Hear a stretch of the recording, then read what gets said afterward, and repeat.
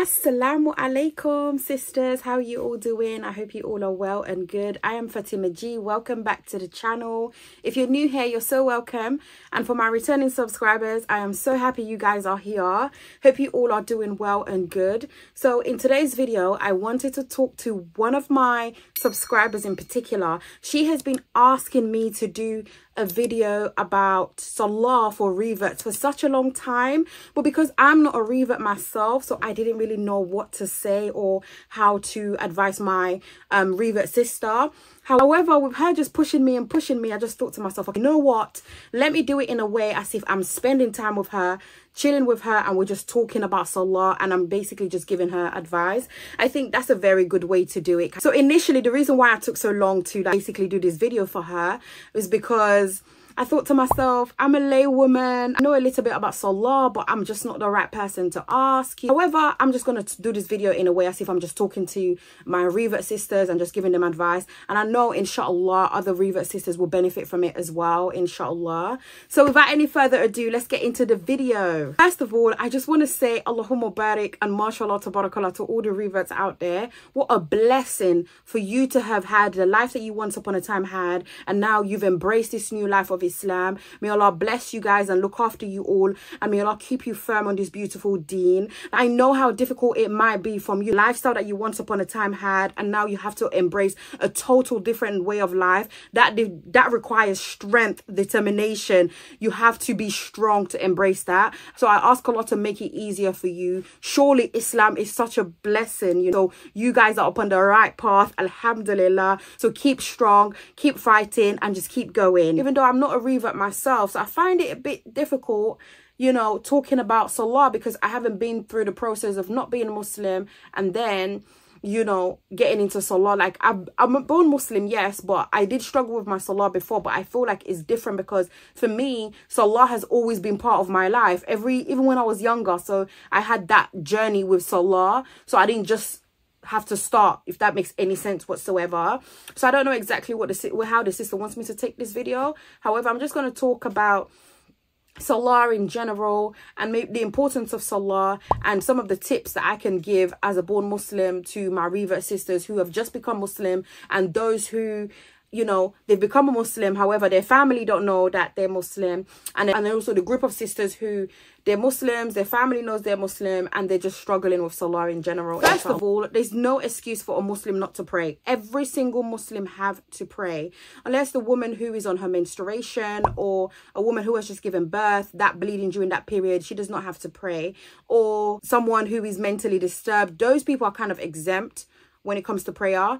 But everyone who is sane have to pray. Whether you're sick whether you're in a battlefield whether someone who is in prison. And like now our brothers and sisters in palestine that war and that oppression that's going on they still have to pray. So there's no excuse for someone not to pray. And this is because allah subhanahu wa ta'ala has told us to pray. It's an obligation. So no matter your circumstance except those people of course who are exempt you have no excuse not to pray. So prayer is something that we all have to do. So you can say for example subhanallah like revert just became a muslim. And the next salah is asr they have to pray that salah. They may not know what they're saying. They may not even know how to really pray properly, but they still have to stand there and perform that salah. First of all, the first step is we know that you have to be purified. You have to learn how to make wudu. So if you didn't learn how to make wudu prior to taking your shahada, the very same day you have to learn how to make wudu. It's just simple steps. You know, there's lots of videos that you can watch on YouTube on how to make wudu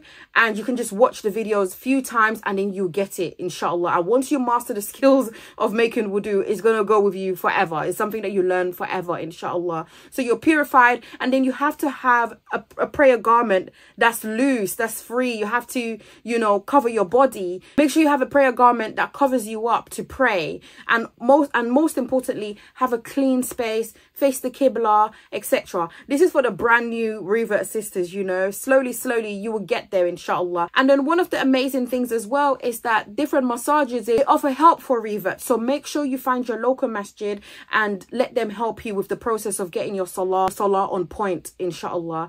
And I guess the next stage is for the sisters who have just become Muslim, right? And their family you know don't know about it and they don't want to just reveal it to their family yet and they live in the family home. So it's quite difficult to have your prayer mats out or you know your prayer garment so that means you're literally hiding to pray. I mean if you have a if you have a room where you know you're very private in that room and nobody really comes in and you can lock the door then it's easy. You know you can just lock the door and then when it's a salah time you just pray. And then another thing is obviously for those sisters who don't have a lock in their room where their mom can just come into the room etc that's very difficult. So I'll give you a backstory. I know a sister personally who, when she became a Muslim, it was very difficult for her. She was not able to, you know, pray in front of her family or even in her room. So what she used to do, she used to have to pray in the bathroom, subhanAllah. And that's the beautiful thing with our deen. Allah subhanahu wa ta'ala have kind of excused some people when it comes to um salah when it comes to certain things because that was her situation at the time. It is permissible to pray in the bathroom if that's all if that's your only option. If you're trying to prevent from getting kicked out or from from getting you know verbally abused etc you can do that until you're comfortable to tell your family inshallah. But you have to make sure that you pray because this is our this is one of the obligation of islam. This is literally the second pillar after you know declaring your faith you know after saying the shahada which makes you a muslim. So you say your shahada and now you're muslim and then you have to literally start praying. So if praying in the bathroom is what you have to do for now that's basically what you have to do inshallah until you're comfortable to talk to your family about it. And now i guess it's for the sisters who you know they're muslims and you know they're covering up but then they're still struggling with their salah. That was me once upon a time even though i was born muslim right? So i will give you tips on what i did. For me um i started praying slowly slowly so i would pray this salah and then that salah and then the other salah was the other salah especially fajr was quite difficult for me to pray. However i knew that that was my end goal. I was trying to get my fajr on point and just praying my five daily salah. So i just used to make lots and lots of dua and lots and lots of dua and eventually allah made it easier for me. So just take it slowly and talk to people who are around you. Talk to local sheikh you know and just let him know that you're struggling. Talk to like sisters in the community and just let them know you're struggling and then they can come to your aid inshallah. And what i would say personally is just understand that salah is the first thing that we're going to be asked about. So knowing that should just motivate you to keep you going inshallah. Knowing that should want should make you want to pray your salah.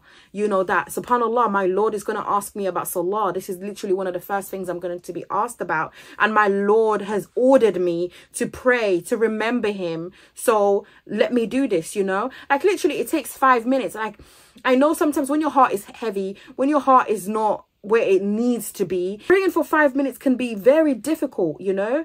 So it takes time to basically release that sins that are that's just making your heart heavy. It takes time for that. So what i would advise is do lots and lots of istighfar. Do lots of istighfar and ask allah to forgive you and ask allah to make praying less burdensome to make it you know easy for you and for it to be a pleasure rather than a burden for you you know?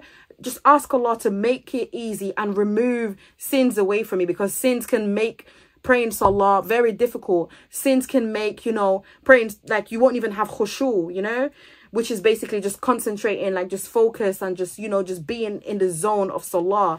And also, know? another advice I would give is you should understand that you have to make sure you literally learn Surah Al-Fatiha as quickly as you possibly can because that's one of the surahs that we have to read in every Salah. Otherwise, the Salah is not valid, you know? So take your time to learn. However don't take too long because some of these things are really really important. Now as we all struggle with salah we've all had our we've all had our stages. And like i said this video is quite difficult for me to do because i'm not a revert so i've not had that process. So it would be really great if a revert sister who i guess has a platform can do a video on how she on how her journey was on basically establishing salah or something like that. That would be really great. I think a lot of reverts will benefit from that. But i say just take it slowly and just start praying slowly slowly. And and understand why you reverted in the first place is to follow these rules and regulations that Allah subhanahu wa ta'ala has put in place for us.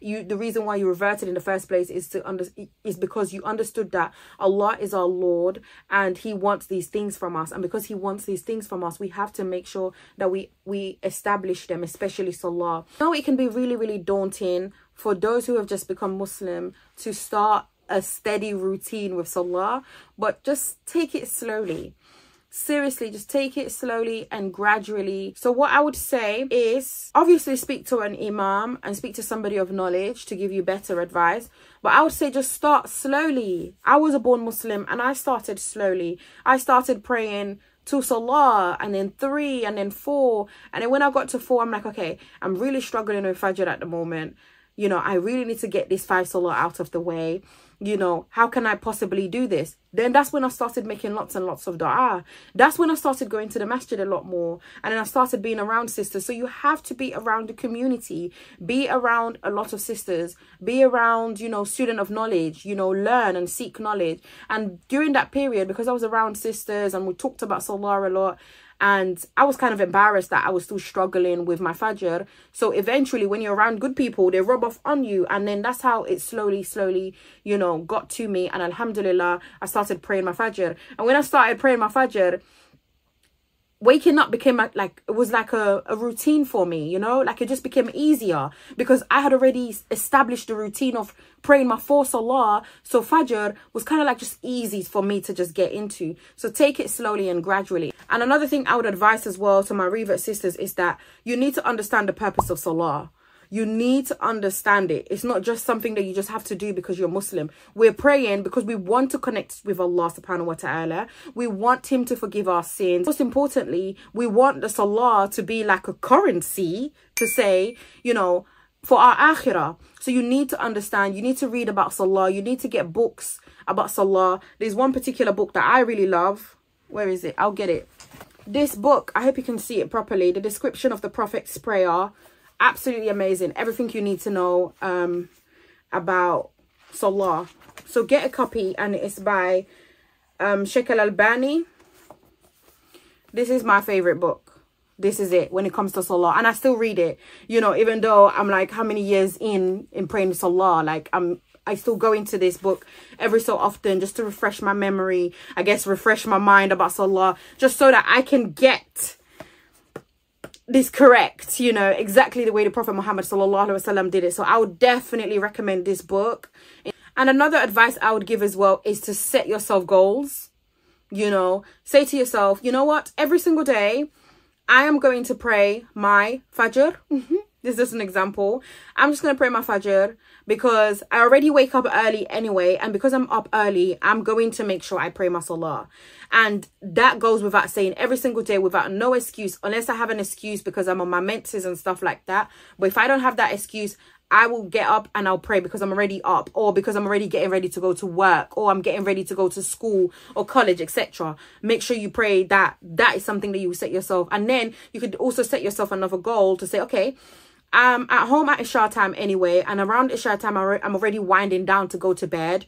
So let prayer be part of that routine let prayer be part of that goal of let me pray before i head to bed so and another thing i would advise as well is just to connect properly with your salah is to learn the meaning of surah al-fatiha surah al-ikhlas all the short surahs or all the surahs that you're going to be reading so that when you're praying you know exactly what you're saying because obviously most reverts are not arabs you know they're not they're from different parts of the world and they're not Arabic speakers, you know. So learn the meaning of Surah Al-Fatiha, Surah Al-Ikhlas, and all the other short surahs that you're going to be learning, you know. Learn what it means so that when you're actually praying, you know what you're saying. And then when you're praying, you go when you go in ruku, also learn what that means. What you what are you saying, you know? When you're saying Subhana Rabbi al-Ala, Subhana Rabbi al what are you saying?